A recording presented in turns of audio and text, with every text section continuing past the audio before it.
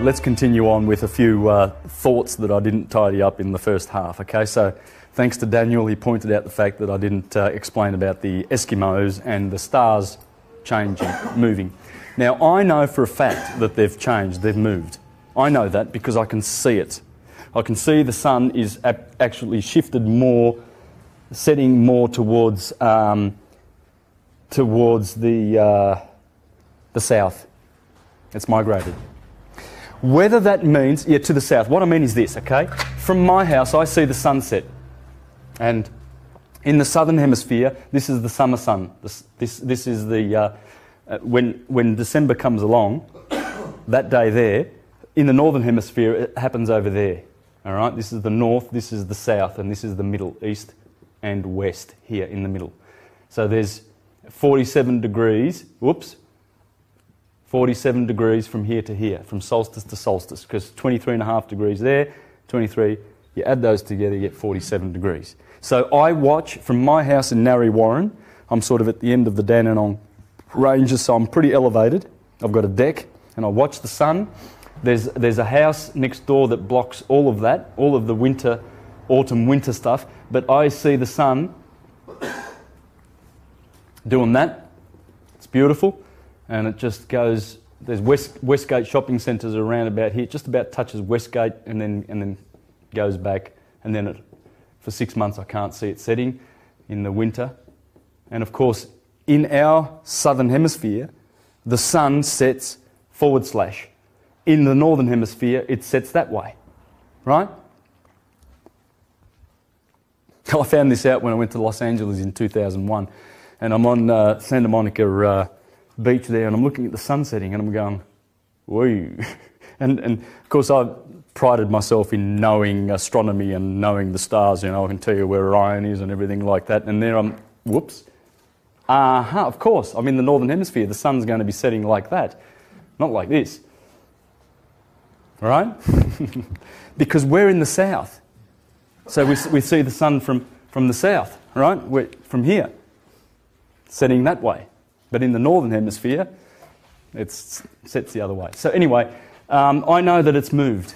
I, I yet, I, I, don't know how much it's moved yet because I've got to wait till the 21st of December comes to see. I've got a marker. My son's school, uh, Baringa State School, there's a, there's a roof, and the sun goes to the edge of the roof and then it goes back. So I'm going to I'm to mark it, but I know already it's, it's advanced. It's out. Are you talking about shift?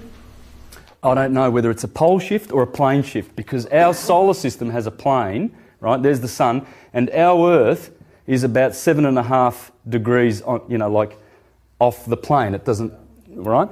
So I don't know whether it's this. Someone said that it was a plane, the shift of the plane that's done it. But, but I know for a fact, right, by reading guys like Walter Russell, another guy you want to read is Keshava Bhatt, the Indian guy who died about 20 years ago, and he was the one that's teaching that our solar system is in a vortex. There's the sun at the apex, this guy agrees, and then the planets conically orbit like this. There's Mercury, Venus, the Earth, conically. So one part of the orbit will be fast, one will be slow. In fact, this is the slow part, this is the fast part. That's why Marcus Manilius says the bull and the twins and the crab rise upside down because it's because this part is slower and this part is fast. 187 days 178 days. There's a book that really explains that well. It's called the round art by A.T. Mann the which? The round art by A.T. Mann right. Yeah. And that Good. explains that really well. Yeah so it, it's conical and, and they're elliptical. Have to be. If they're in a cone it's elliptical so, does that answer your question about the, uh, the stars and the Eskimos? Because the Eskimos were saying, clearly, they're saying the, the stars have moved, the heavens have moved, and you hear them one by one from different tribes in their native tongue. You can't understand it, but for the subtitles. And uh, they're explaining that they, are, they have watched the stars all their lives and they've moved. Yeah, I've seen that too. And it's hard to believe. Yeah, well, how can that happen just all of a sudden? Well, because as I said, as I said it takes 2,160,000 years for the, the axis to migrate 360 degrees. All planets do it. Uranus at the moment is sitting on about 87 degrees. That's where we get our ice ages from. Of course. We get our ice ages. Every part of the Earth has, has been in an ice age. When they discovered the mammoths in Siberia, they said, hey, this was a tropical lush forest. And we've got maps of the Sahara where Egypt was full of palm, uh, palm trees and tropical vegetation. The whole Earth, as it goes around every two million years and brings back a wave of human consciousness, the return of the Christ, we've been doing this for millions of years. This guy says for millions of years we've been on this earth doing that. And, and, and when the ice age comes, it, kill, it kills off man. And then man comes back. And there's waves of this. The, pyramids, uh, I mean, there's uh, guys like Robert Schoch and uh, John Anthony West and Schwaller de Lubicz and um, Gerald Massey and all these great scholars that have exposed well, in modern times, you've got Graham Hancock and Robert Bauval and these types. They're exposing that, that the Sphinx is at least 12,000 years old, at least 12,000 years old. You go to university and get educated, and they'll tell you that's all. It all fits in the model. But, but, but, to say that the stars have shifted, that, that's a big thing. Well, they absolutely have. come out in yeah. other? Well, this is it. Denial, denial, denial, denial. There's no disclosure with the corporate governments. It's just that river in Egypt, you know. Yeah. Isn't there a lot of amateur astronomers out there? Well, there's a lot of guys with their handheld cameras that are going, um, I'm focused on the sun setting, and it's setting over here, and it was setting over there last year. What's going on? Uh, there's tens of these on YouTube. I don't look at them anymore because it's a fact. That happened in our autumn earlier this year. The sun was about, um, I live in Thornbury, and when I'm looking east when the sun's rising, the sun usually comes up around about um, directly across from me. Um, but this time it was more in Northcote, which was a little bit more south um, the next morning. But then the next day, it was back to its normal position. So I don't know what was going Actually, on there. Yeah. People are filming objects too, circling the moon and stuff. Yeah. And the sun. Yeah. yeah. And they're there. They're there. Elenin and all these, Honda and Levy, they're there. Uh, we may not see them. You don't normally see the comets. There's hundreds of comets, you know, coming in and, and the sun just consumes them. They crash into, see those visions of the comets landing into the sun and the sun just absorbs it? Because, as Wallace Thornhill explains, that the sun is being energized from without, not from within. It's not a hydrogen super bomb that crushes hydrogen atoms at its core and then helium comes from that and, and, and, and then it's going to burn out one day. It's, it's gathering all its electrical force from the currents out there called Birkeland currents. We're right? trying to get sunspots too. Yeah. There's no actually nuclear fission happening in the sun. No. there's none. There. There's none. But these models continue to be spewed out of our universities to keep us stupid. So we can't think for ourselves and have direct knowledge. Because once you know the solar system works, it's all over. That is the system of the solar system. And what happens is the planets, as our Earth was where Mercury was once, and it was as small as Mercury. Now it's bigger because it's out here, because the orbits slow down and the rotation speeds up. So that, you know, there's not an imbalance. Because if, if, if, they didn't speed, if it didn't speed up in its rotation but slowed down in its orbit, it just flies off. All right? And then it becomes a sun when it, when it goes away from its primary. See, as Walter Russell explains, the sun is emitting its planets from its rings, from the equator. The planets come from that. They shoot off. And our sun has come from Sirius, it's binary. Its mother, Isis. Sirius is the mother of our son, Jesus. That's why in Egypt, Egypt they have Isis nursing Jesus.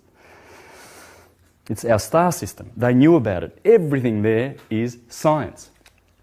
And when you realize that that, that spin of the earth is um, anti-clockwise spin of the Earth is increasing in its spin, you understand where the earthquakes and tsunamis and what have you are coming from.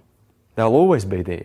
See, because if our Earth was like that and now it's like that, well, that curvature there is a lot more uh, concave than this curvature here, isn't it? So if the Earth is expanding, that means the crust of the Earth must be straightening. That would account for Japan and Christchurch and all of that. It's just the crust straightening up. because it's expanding. It's Mother, Mother Earth just doing what she does. But see, what they do is they see the effect and they say, oh, the earthquakes are causing the tilt. So people get, get scared because they think it's unnatural for the tilt to be straightening up. It should stay at 23.5 degrees forever, shouldn't it? That's what we're being told. And they know. They know the truth. Mark my word, they know the truth, man. They know it.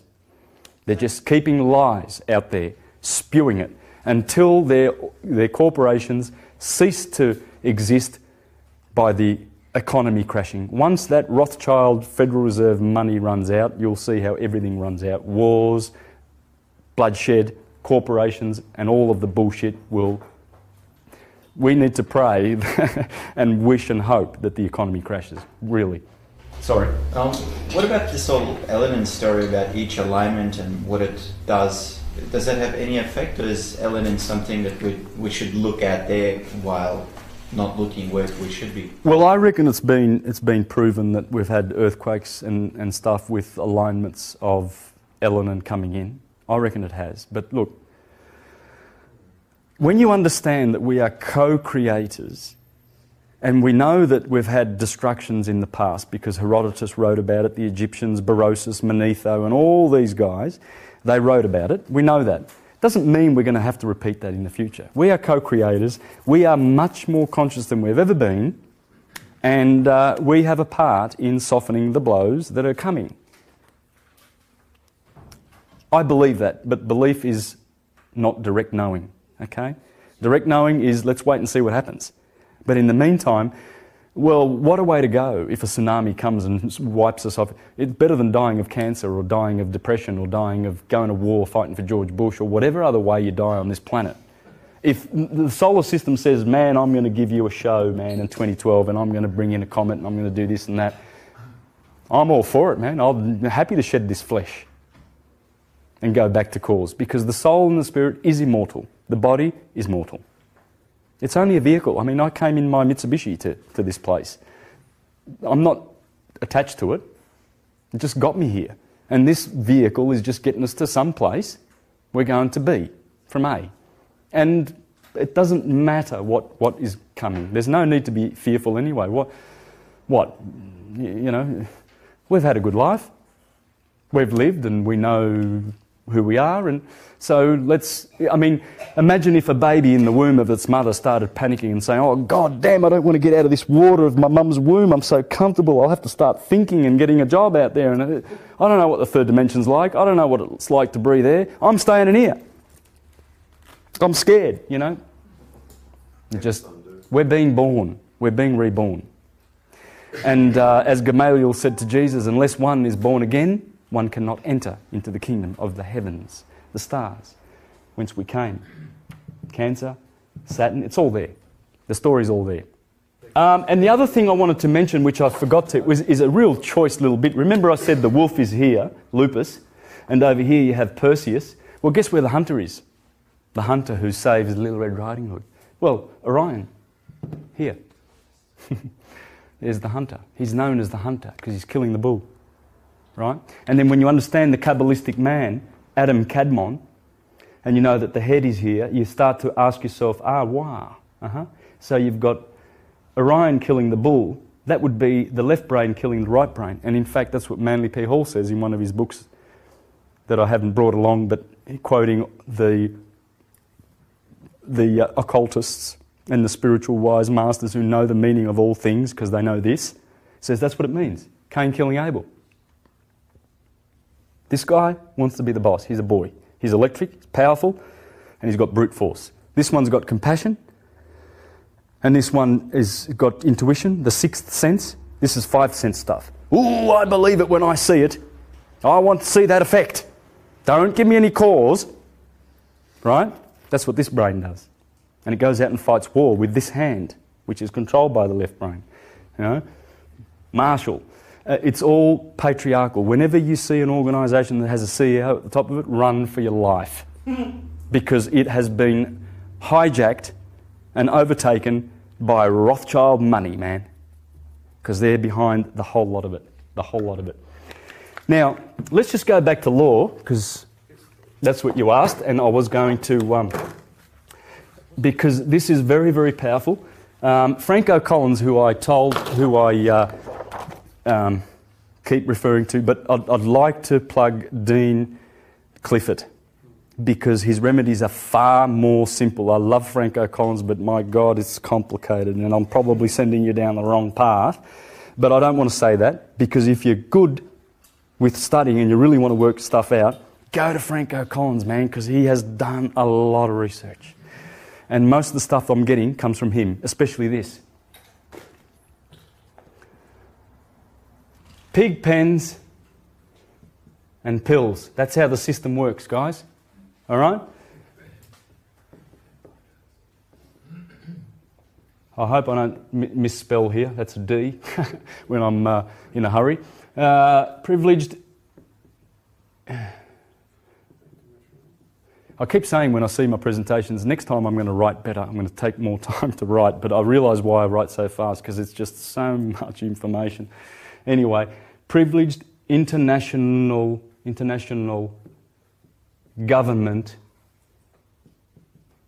prison estate national system private international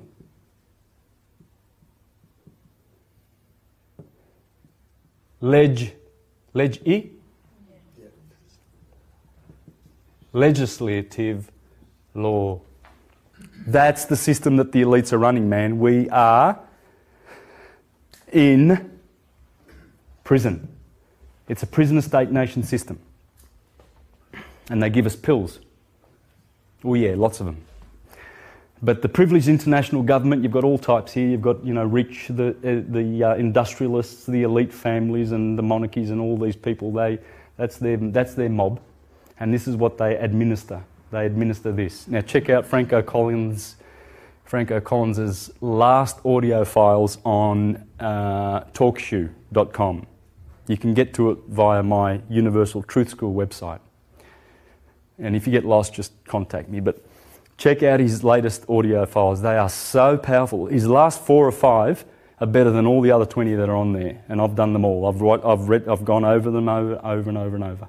Now I'm on to Dean Clifford, and I'll tell you what, that guy is on the money. Once you study his stuff, ain't no turning back. You know who you are. See your passport, P type. P, pauper. We are paupers. That's their assumption, that's their presumption in this system where they tell us to register our birth certificates in a ward because we're wards of the state. Um, it says here the Governor General of the Commonwealth of Australia, being the representative in Australia of Her Majesty Queen Elizabeth II, requests all those whom it may concern to allow the bearer to pass freely without let or hindrance and to afford him or her every assistance and protection of which he or she may stand in need. Why would you need that anyway if you're free? Right? You get a license, they give you a license to drive. Well, that's commercial. Who said we're not allowed to travel? I mean, I want to go from A to B, I'll go to A to B. Whether I have to get in a car or a tractor or an aeroplane, I'll find a way, but I don't need a license to do that. Travelling is your right. That's what the passport asserts. But that's what they do when they, they, they pull you over and they say, yeah, Can I see your license, please? What do you do? I've said no. I've gone down that path and succeeded, depending on the policeman, depending on their attitude, right? Because if they're going to just pull out a taser and you know just zap you with it, well, it's not worth it. But you know, if they give you a, just give me the fine, get the hell out of here, mate. Just, yeah. I'm nice to them, usually. Sometimes I'm, I'm not, but um, I just say, just do what you have to do, because I'll deal with the paperwork anyway by writing the, the, the necessary letters telling, writing them and telling them that I don't need their services. Thank you very much, and do not I've contact. started by refusing it. Don't even look at them. Just you know, you can Return to sender. return to sender. Um, it's it's a, it's it's a joke. It's a joke. The the the expression that uh, Dean Clifford teaches, by whose authority do you use that name as personal identification? When you go to court, they're bringing you in, they're summoning your name, your corporation. So they are making, that's very, very, very presumptuous of them because they're assuming that you don't know that you are the sole beneficiary and shareholder of your trust. So unless you rebut that, they're going to send you to prison, they're going to fine you, they're going to do whatever, whatever they want. So you need to let them know soon enough. I'm here by special appearance and to uh, have the case dismissed against my corporate name. Uh, who's, who in this courtroom is um, in breach of trust? I've also had the idea of summoning them to my place for a hearing. Yeah, why not? Do what you feel, man. Yeah, you come to my place. We can talk there. You come to my place, man. We'll talk there. Um, look, there's a lot of information that I can go into here. Okay? There's a lot. But I really think you'd be served better by listening to Dean Clifford. Please do it. Do you remember that um, uh, those trusts that I put up? Those trusts apply around the world, man, through the UN, through the Rothschilds uh, Geneva Convention, and all of those conventions that you know make us free. Um, they're all Cestui Que Vie trusts. Cestui Que Vie Trust. Those those were three trusts. You see, look. This is how it works. There's there's the Pope, Pope Boniface. That's his tombstone. And he was the one that first wore the, the double crown, and then the triple papal crown came along, and that is the tiara or the triregnum, the three kingdoms, the three trusts. Steal your property, steal your, your um, real estate, steal your personal property, steal your souls. They are the harvesters of souls. Because how it works, it, it works on the sacrament of penance and indulgences. You're a sinner. You're a sinner born a sinner, but you've got some credits with this gracious God in the heavens. And we are here as God's agents. None of you going straight to God and having a relationship with your spiritual father yourself. No, they've inserted themselves in the place of God, right? And so they're going to administer your sins, man. They're going to bring you in for a hearing. Excuse me, Father, for I have sinned. And we go. What's the deal with with the Mormons, when every person who dies on the planet I've seen, they get the name and they do some special ritual. Yeah. What's that about? You can rest assured that it's shonky. Yeah. I don't know what it's all about. Why do they have everybody's name under those vaults, yeah. under those mountains in Utah? They've got no right. They're presumptuous. They're all presumptuous. They're presumptuous. The monarchies are presumptuous because they've got blue blood. Well, if you want to find the best blood on the planet, prick yourself on the thumb with a needle and look at that blood because that's the best blood that there is. It's in your body. Yeah, it's not in, in, in, in Prince William poncing around you know, and all these fools that go and adore him. Oh, Prince Louis, Prince do they know, if I could tell those poor blind people how many people that he stands for that he's murdered? He's murdered. They are the murderous, most murderous family together with the Rothschilds in history. Their business is murder since Hudson Bay and, and East India Company, when they were pirating the seas. They're pirates. They are filthy, rotten, dirty, criminal pirates that torture us when we start to think. See, the inquisitional officers, they haven't gone away. And they tell you, they tell you, there's a sheriff. In New South Wales, I tell you that they're serving the cross, the Christ, the Antichrist. Catholicism and all its prostitute little whore Protestant uh, organisations that are incorporated, that sit under the, the skirts of the uh, blood stained mother whore, Babylon the Great, which is the Catholic Church, they all are corporations that, that pay massive amounts of royalty to the mother whore in the Vatican. And uh, they come to you these officers of the Inquisition to summons you to their hearings. I've shown these pictures before. That's the army of the Vatican in the 1500s, 200 ships. that was uh, painted by Giorgio Vasari in Naples, the Bay of Naples. What's the Pope doing with 200 military ships going on a crusade against the Turks? I wonder if that's just a small portion how many young men are on manning those boats, man? How much bloodshed is there? How much genetic pool was lost in those days? There's the Pope. There's a photo that you don't want to, you wouldn't want you to see. There's the Pope blessing the army in Italy. Go, brothers, go, shed blood for God. Shed. Shed blood for God. And there's Christopher Columbus. That's a famous painting. You can see many of these paintings. There's the cross. The Dominicans were with him. The Dominicanis means the Lord's. The Dominicans, nice bunch of people. Dominican, Dominus, Lord. Cain, canine. The dogs of the Lord, mate. They'll kill you, they will slit your throat. Just like Julian the Emperor, 40 years after Constantine, said, Those Christians, they are slit throats. He was saying it back then, man. Porphyry busted them in the third century. Celsus busted them. If you read this, you will know who they are, these people, these literalist Christians. You'll know who they are. He says they're buffoons that go to the marketplaces, stand on their soapboxes, and preach the gospels that they don't understand. And they try and seduce widows and, and orphans. But as soon as an intellectual comes, chung, they're off. They've gone a runner.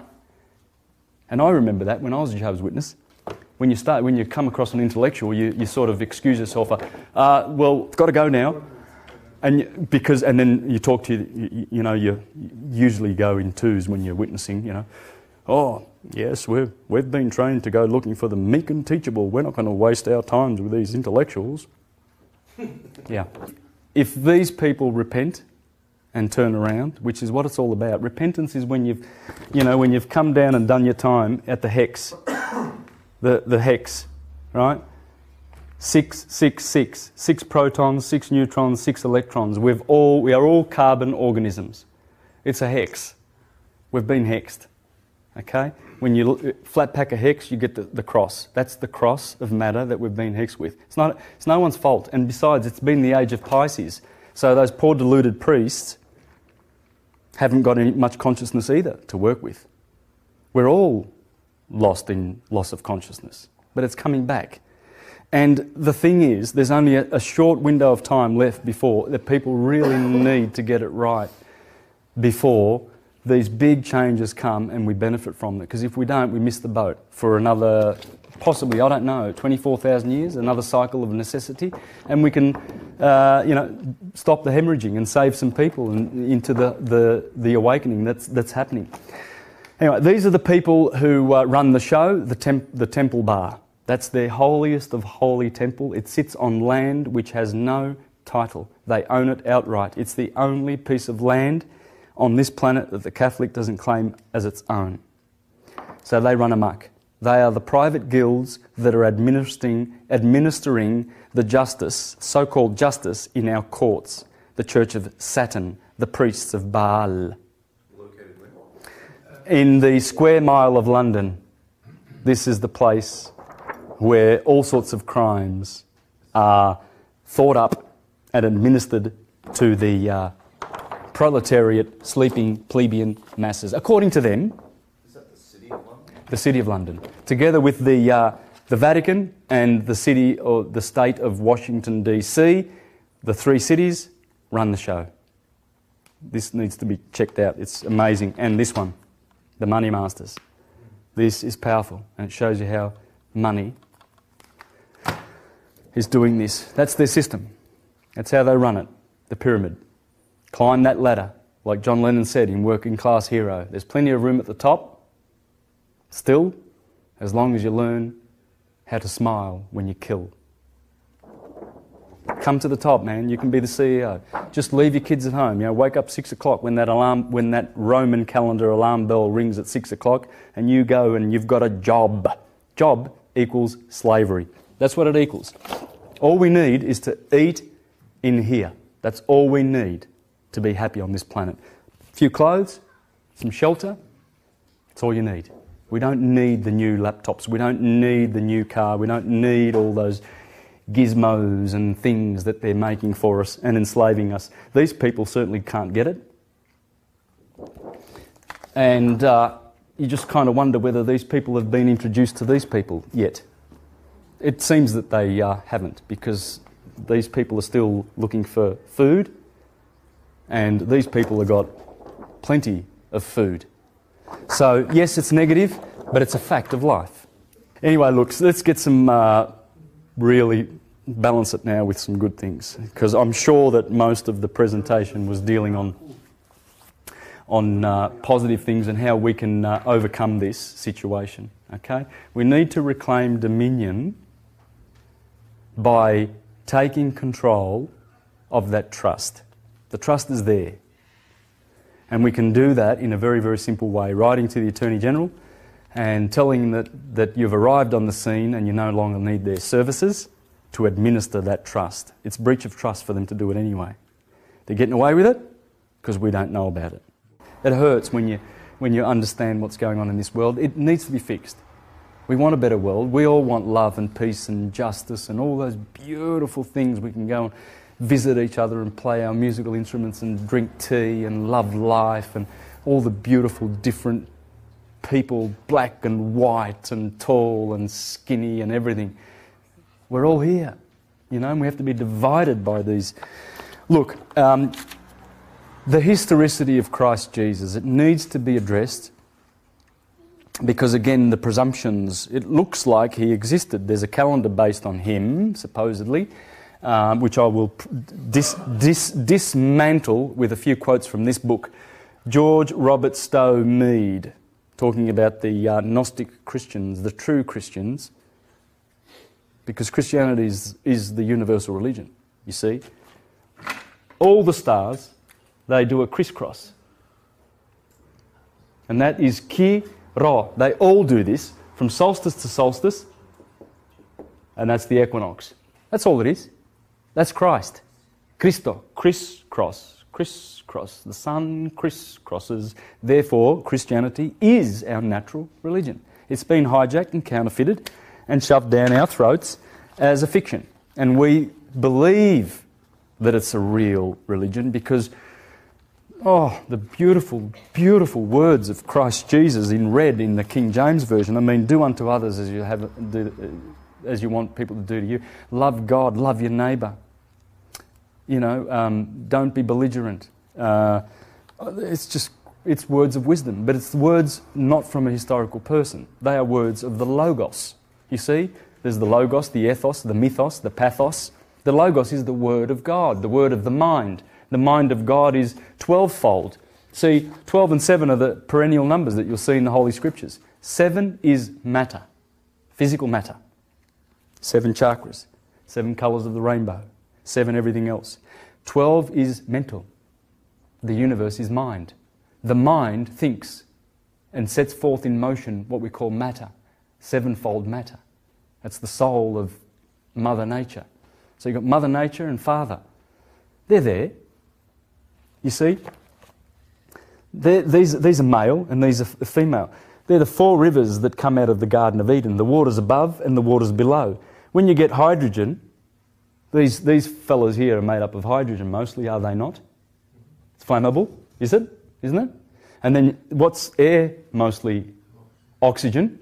I know I've got, I've, I know I've got nitrogen here and I've got hydrogen down here, but, but this still applies. Because these are the waters above and these are the waters below in the Bible, in Genesis.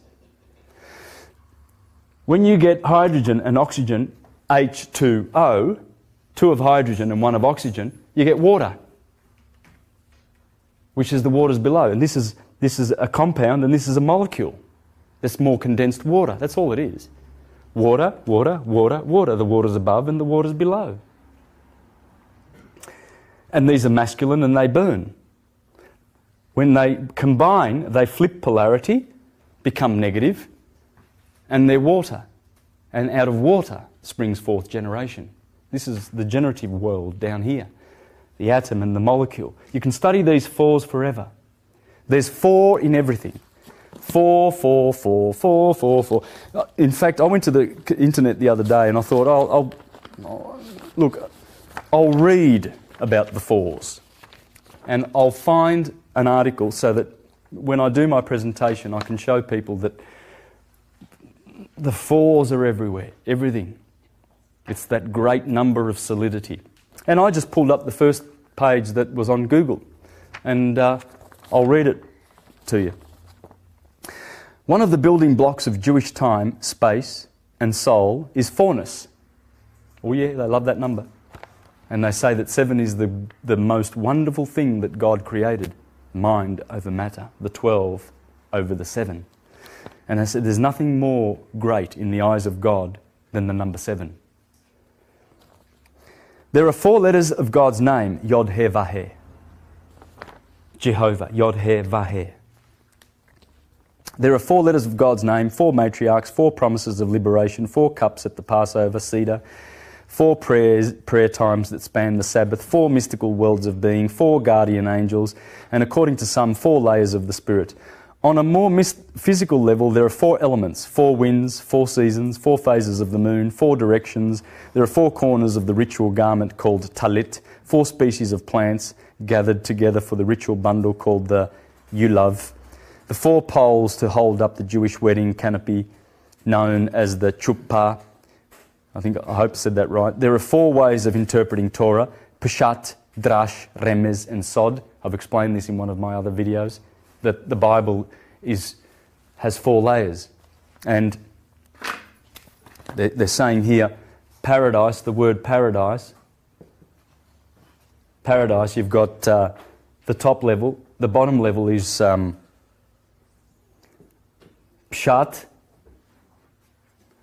uh, drash, where you get the midrash of the Jews, midrash, uh, remez, and sod. That's the literal version that you teach 12 year olds. That's the one that you say, oh, Jesus was man. Because you're teaching them like you put training wheels on a bike so that they grasp the stories. You know, you talk about Humpty Dumpty, give them the moral of the story. Little Red Riding Hood, give them the moral of the story. Children learn in this way. They see the beautiful images and the symbolisms clearly. But when you get, you know, like past 12, you're supposed to sort of introduce the allegory and explain to them, well, Jesus, that man that we said was, you know, a man, a good man, well, it's, it's, it's the Son of God. S-U-N. It's the Son of God. Anyway, and this is the mystical, spiritual mystical, okay, allegory. Uh, there are four, the plain meaning, oh, so, well, it says it here, hang on. Uh, uh, so, pshat, drash, remez, and sod, the plain meaning, the allegorical meaning, the interpretive meaning, and the mystical meaning. This is the one they give to 40 year olds, no one under 40 years of age, because it sends them loopy. That's what they say, the Jews. And that's, that's, that's the Zohar and the Sefer Yetzirah and Kabbalah. There are four rivers in the Garden of Eden. Fourness reflects the ages of human experience, youth, maturity, and generativity, reaching one's full power in midlife, and the challenges and joys of old age. The Jewish world tree, the Yetz Chaim, or tree of life, passes through four levels of ex- existence on its way between heaven and earth. Each of these fours divide the world into multiple aspects. The elements are earth, water, air, and fire. The worlds are As- Asaya, Yetzirah, Beriah, and Atzilut, doing, feeling, thinking, and existing. Goes on and on. Should I read more? I mean, it's beautiful, but uh, I'm labouring the point really now. There's four, four limbs, four blood types, four Hippocratic humours. So, you know, it goes on and on and on and on. And it's up to us to see the sacredness of these numbers. They're sacred. One is sacred. One is the whole, the universe. It's all one. The cause is one. It's just, it's one, but it's 12. Because you see, ether is 12. So the one is 12. Because this is how the electromagnetic pulse works. It works, it works in. Walter Russell explains that there are four polarities, not two. And those two, uh, yet undefined polarities, is what's getting scientists all confused because they only see the two electric and magnetic. They don't realize that there are four polarities. See, he talks about the pulling this way of the wave. You know, the stretching out of the waves and the lengthening, and then there's the, another pull that tries to give it amplitude. So the one, which is 12, now you're not confused, right? Because that makes sense. The mind is a dodec, is a, the universe is mind. And as it works upon the, the, the motion of the atoms, it creates material forms. It becomes two the good and the evil. Okay? Now, I've, I've done this many, many times in my presentations. When you, um, when you do the Earth and then you do that, and then you do the Tropic of Cancer and the Tropic of Capricorn, and you put the sine wave in there. Oh, well, it should sort of do that, really. Um, well, this is good, right? Good. You take one zero out, you got God, and you can live here. The opposite of live is evil, and that's down here, where the devil is. Same word. You see, the science, the religion that we've been indoctrinated with is really just science, knowledge, and wisdom. And nature unfolds herself and teaches us once we find the key. This is the key. That's why they go after it so badly. They want you to believe, from the church's perspective, that astrology is from the devil. And the uh, intellectuals and the sophists will tell you that it's a pseudoscience. I, I, I love it when people, and they're quite smart, the people who say this to me, you know, say, oh, yeah, oh, astrology, it's a pseudoscience. Santos, it's a pseudoscience. And I'm like, uh, should I or shouldn't I? You know, do I need to just walk away from bothering to explain it or try and help this person? So I've got to make the decision on the split moment. But if, if only, you know how you feel sometimes that you feel like if only you could just download this person who's not getting it with what you know and you could help them, but you can't because they don't want to listen. They don't, they're, they're out of there. There must be a simpler way, though, to make them understand. I mean, the ones that are really closed. Yeah. A simple form. Yeah, there must be.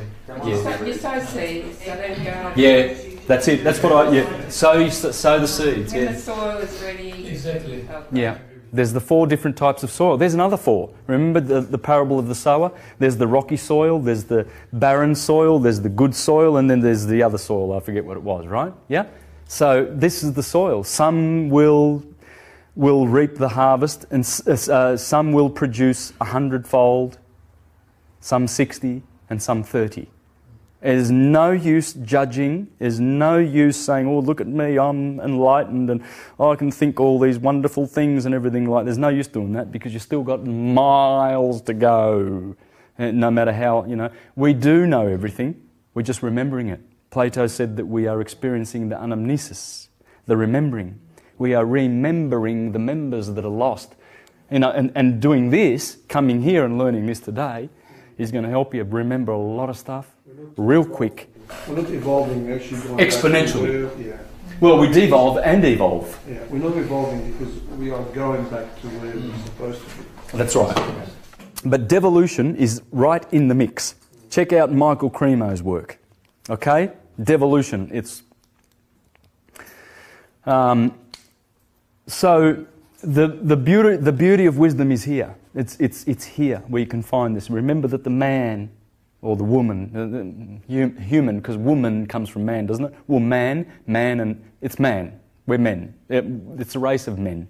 In fact, Adama, the Adamic race, remember ascendant, descendant, and um, meridian. That's Adam. That's the, the that other that other A is in there, but you don't need to repeat it. But Dam is red or blood, and that's Edom. There's other names there in the Bible. Edom, Dom. We are the Adama. In Genesis it says, and man made, and God made man and called him, called them, not him, them, Adama. It's a race. And it's a race of red blood. You see, we are going through the Red Sea. That's our blood. And Alvin Boyd Kuhn, um, the guy who I, I showed before, this guy has a, a small pamphlet called your blood is the Red Sea. And he shows there that in the, the laboratory, your red blood is the same as ocean water. There's no difference chemically. So we are going through the Red Sea. Here we are trudging along, and we have Aries at the head and Pisces at the feet, as the wisdom shows. And my, you study this wheel, and you will see that all the characters turn up at the right place. The Pleiades is six degrees Taurus, sitting right there. That's the jewel of the sky, the seven sisters. Well, I mean, the head, this is not in proportion, by the way. I mean, the torso comes down to Scorpio. The, the thighs, the thighs should be beginning here, okay? That's where the thighs should start there. Okay, so this is not absolutely correct, but if the pineal gland is in Taurus, six degrees of Taurus, it's pretty much right there, isn't it? Would that be the pineal gland, I wonder? Because uh, the theologians will tell you that, oh, the Alcyone, the brightest star of the Pleiades, is where God rules the universe. That's the throne of God. Charles Taze Russell, the founder of the Jehovah's Witnesses, says that. A lot of them said that because it is. It's pineal gland. That rules the whole endocrine system. That's the ruler. That's God. That's heaven. And climbing the 33, 33 parts of, of the spine.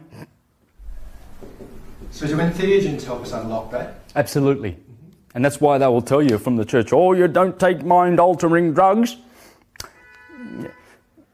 Well, what did they what was the Eucharist originally? The Eucharist that they gave you was the Amanita muscaria mushroom. Hello, you have an out of body experience and then you look at your body and you go, aha, I'm not my body. And then you wake up to the fact that you're spiritual and then you live a spiritual life.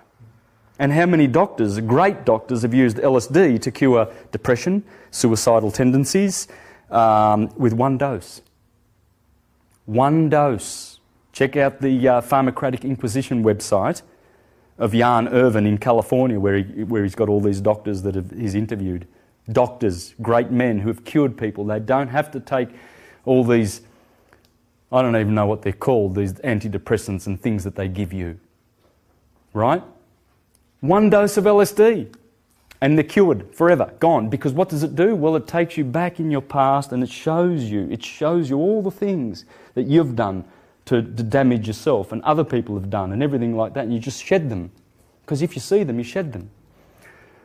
DMT is naturally produced by your pineal gland, dimethyltryptamine. Now, um, a lot of people won't admit to it. You know, uh, Francis Crick discovered uh, the DNA on LSD um, you'll find that there's a few other types in there. I'm sure Einstein took something. I'm sure they all did. Uh, Leonardo da Vinci and uh, Michelangelo attribute their wisdom to the rue plant.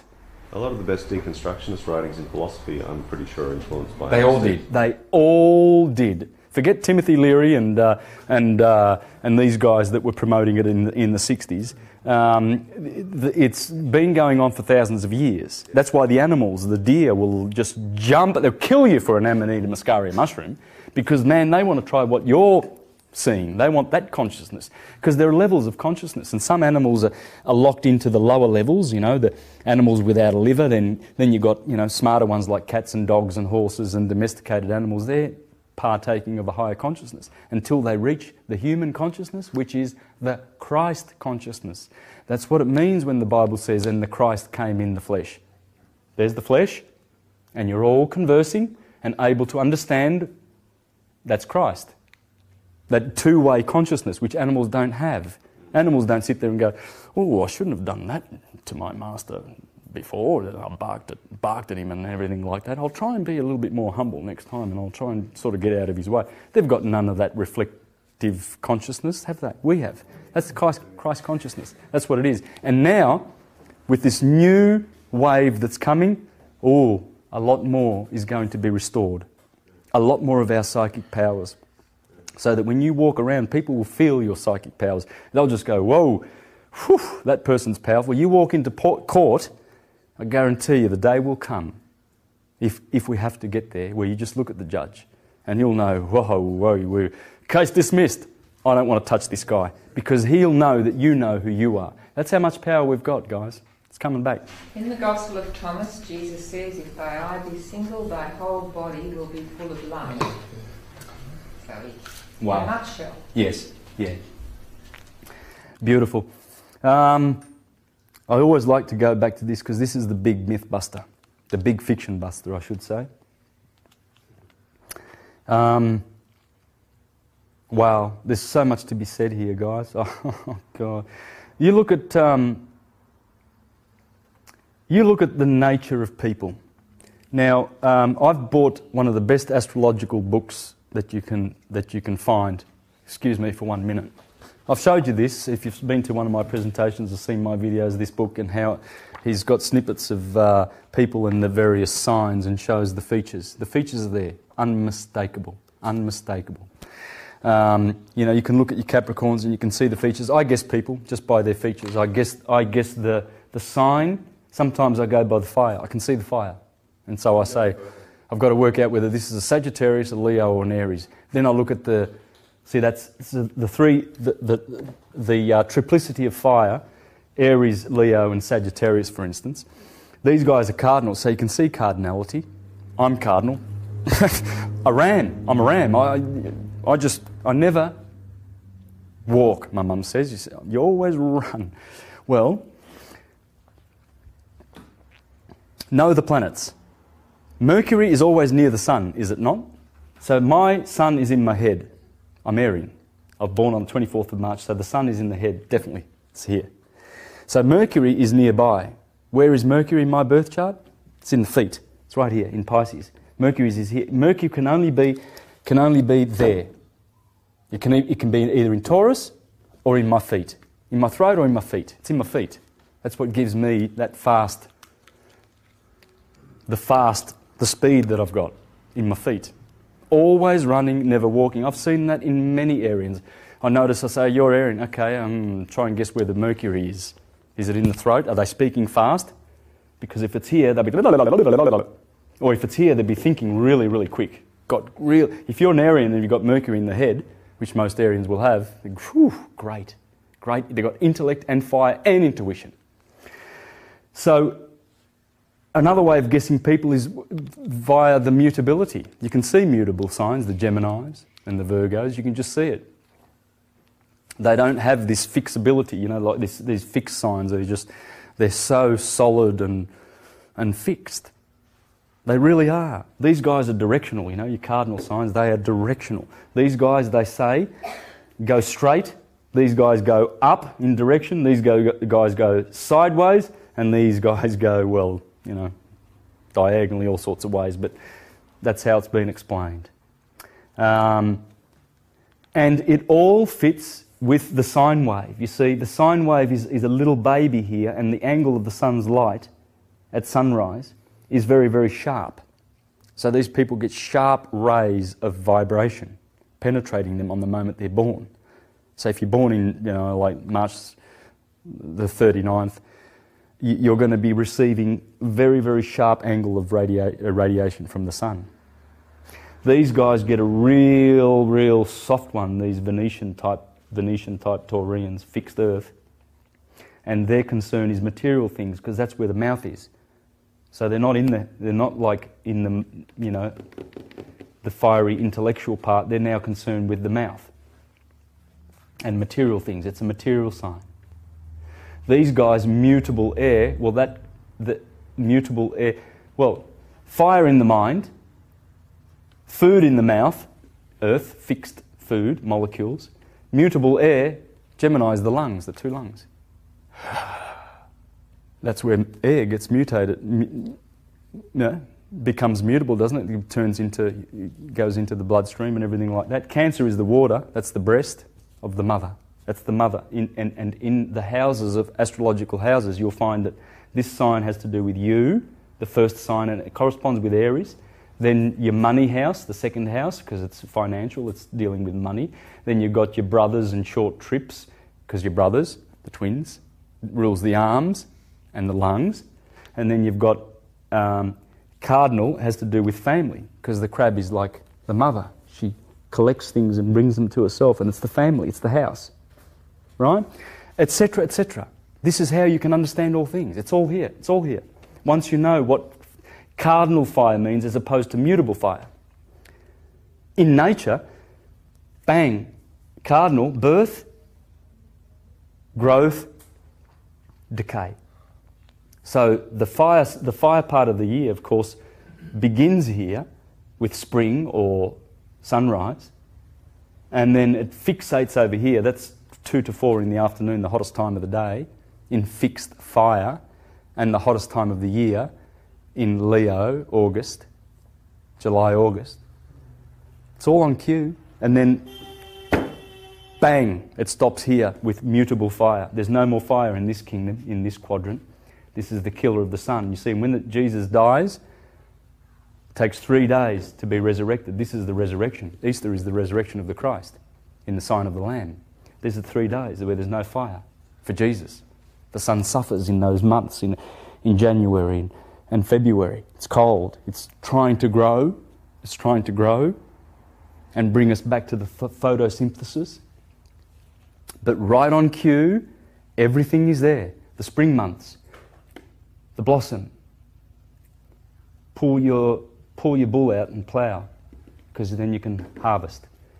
Twins, generation, lambs, goats, cancer. Sun reaches the peak, must come down, go sideways. Leo, the roar of the lion is the summer. The dog days start here, the dog days, when Sirius is behind the sun, because Sirius is over here. She rules. Our binary star dwells right here in the middle of Gemini and Cancer. And then when it's in the sun around Leo, the dog days begin because Sirius is the dog, Canis Major. So that's why they call them the dog days, the heat of the dog days, because the dog is behind the sun, and as the ancients said, it gives power and thrust to the sun.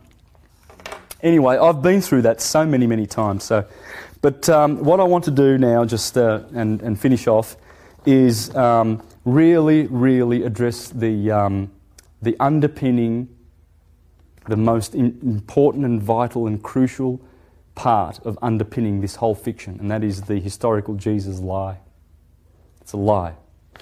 And um, um, this is just one book I, have chosen to, to, to read from here in exposing Josephus, Tacitus, Oh, Tacitus talks about Jesus. Suetonius and Pliny the Younger. Okay? Just quickly. I, I only need five minutes to just absolutely shred the, this to bits in terms of validity, in terms of proving that Jesus lived, if you're going to quote such nonsense. Few Christians now place any reliance upon the evidence from Josephus. The early fathers made this Jew admit that Jesus was the Son of God. Of course, the admission was a forgery. De Quincey states the passage is known to be a forgery by all men, not lunatics. Of one other supposed reference in Josephus, Canon Farrar says this passage was early tampered with by the Christians. The same writer says of the third passage, respecting the third passage of Josephus, the only question is whether it be partly or entirely spurious. Lardner, the great English theologian, was the first man to prove that Josephus was a poor witness of Christ. And you, would have to think, really. Origen and all the first three centuries, there was not one apologist who was defending Christianity that quoted Josephus, and they could have. Origen could have said, Ah, Josephus mentions Jesus, because he didn't. They put it in after. Eusebius and his buddies did that. The Jesuits have been counterfeiting history for hundreds of years, man. It's, it's all wrong. Um, Tacitus Oh, Tacitus talks about Jesus, certainly. This is the big one. Tacitus is the big one. Well, his histories, that's his true work. Uh, but his annals, that's a forgery. And that's where he mentions Jesus. Doesn't mention Jesus here. Actually, he doesn't mention Jesus. He's, he mentions Christus, who's not Jesus. And it's not saying that he did anything to prove that he did something. There's nothing. There's nothing there that says Jesus did anything. There's just mentions of Christians and mentions and just little brief. In fact, Suetonius, this is what Suetonius, they use this, mind you, right? This is supposed to be proof that Jesus lived. And they always, they should stop at least, they should stop quoting Suetonius. because there's only three words. This is the sentence. Because the Jews of Rome caused continuous disturbances at the instigation of Christus. You going to go to court with that one? Jesus existed, look at that. It ain't going to work. Not in a real court. The quotation from Tacitus is an important one. The part of the passage which concerns us is something like this They have their denomination from Christus, put to death by a criminal, as a criminal by Pontius Pilate during the reign of Tiberius. I wish to say in the first place that this passage is not in the history of Tacitus, known to the ancients, but in his annals, which is not quoted by an ancient writer. The annals of Tacitus were not known to be in existence until the year 1468. An English writer, Mr. Ross, has undertaken in an interesting volume to show that the annals were forged by an Italian, Bracciolini. I've got to leave it at that because I've got to tie, tidy up with what I promised I would, um, and that is. Now, please, there's, um, there's Dupuis, 200 years ago, exposed the solar, the solar story. Joseph Wheless, Forgery in Christianity. J.M. Robertson, Pagan Christs. This one's the best. I wrote to this guy, and uh, he lives in somewhere in the UK. The Pagan Christ. This one is the best. You read this, poetically dismantles the whole story, like I've tried to achieve to do. Jordan Maxwell helped in this one. The church, the book your church doesn't want you to read. This is brilliant. The Dark Side of Christian History by Helen Ellerborough. Brilliant book. Jordan, uh, Michael Tsarion. Astrotheology. D.M. Murdock. Christ in Egypt. Yes, Christ was in Egypt. I've proven it. oh, yeah. This one, Kersey Grave, Graves, remember in the 1850s? This guy has actually revealed that the Flavians, Pisos, the Piso family, the most powerful family in history, is behind the whole lot of it. They made themselves Christ. They did. Vespasian did it, the father of Titus. He was the one that Tacitus says went around performing miracles and calling himself a god. And these guys are excellent too Timothy Freke and Peter Gandy. And they've got a series of books, exquisite, exquisite, showing the, the, the truth behind all these gospels and, and, and myths and legends. Now, um, do we remember that image I showed you of Augustus with the crown of thorns? And, and uh, churchgoers will say, oh, look, we live in the year 2011. That's from when Jesus was on the earth.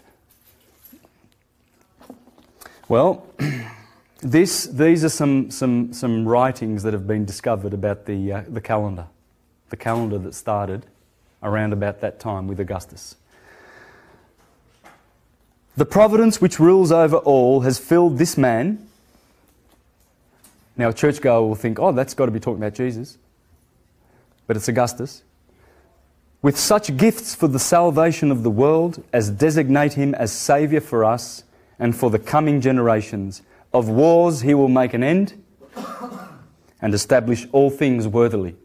That is talking about Caesar Augustus, the man with the crown of thorns, the original, the one and only, and his uncle, adoptive uncle, Julius Caesar. Julius means the son, Caesar means Christ. Caesar, Tsar, Caesar, Christ. And that's what all the pharaohs were Christ. They were all Christ. Horus was Christ.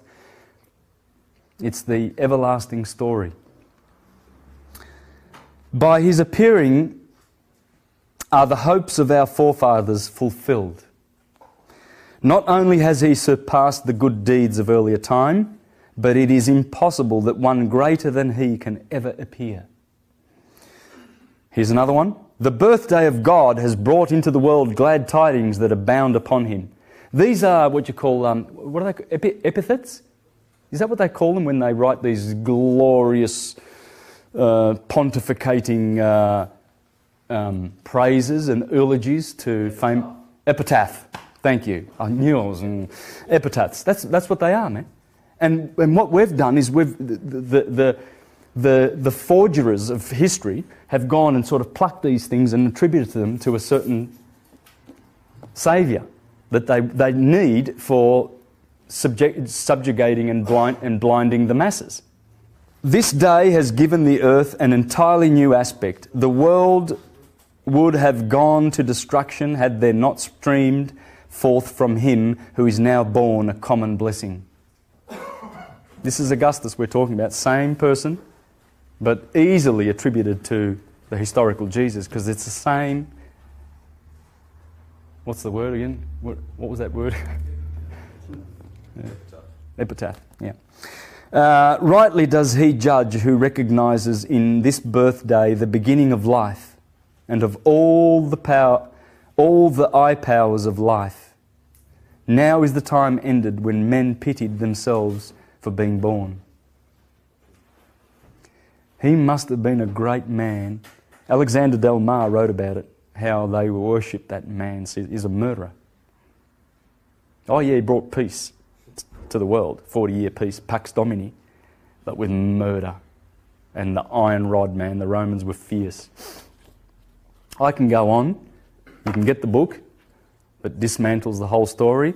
We need to reclaim this false history, and we need to reclaim such beautiful books as this, as, as, as, as, as the Bible, and show how this is our best, the best of the best, the cream of the crop.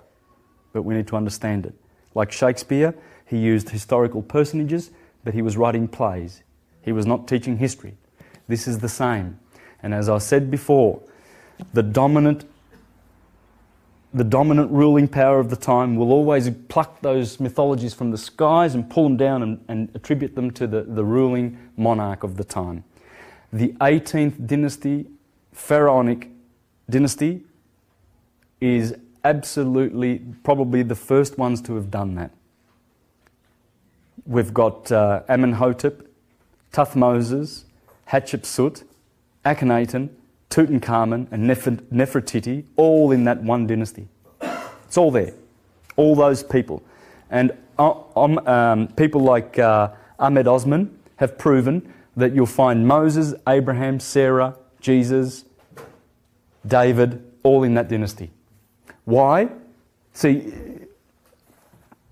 you have to understand that whilst these people are not historical, they are still being pinned onto certain historical uh, personages because that's what you do. Like Plutarch said, if Ephemerus was doing it, the Greeks have always done it. Oh no, there's a tomb to Hercules just outside of Athens. He lived. You ask you know, the Greeks who don't understand, and they'll tell you that Hercules was a man, but the, the, the learned ones will say, oh, hmm, Hercules is up in the skies. Thank you very much for listening. Time is up.